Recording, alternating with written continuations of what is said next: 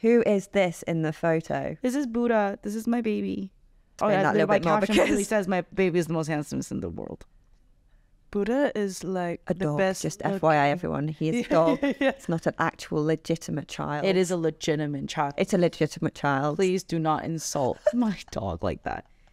He is the best looking pug. He's so cute. I miss him. I actually missed him so much last week that I would call so many of my friends to keep bringing their dogs.